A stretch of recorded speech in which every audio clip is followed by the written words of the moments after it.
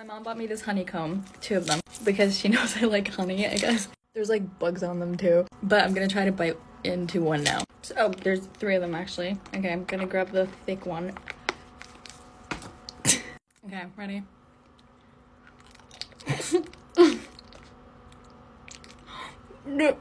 it's so honey.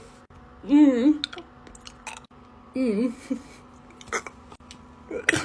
God, I can't. I don't know if I was supposed to do that. Honey's good though. Thanks, mom.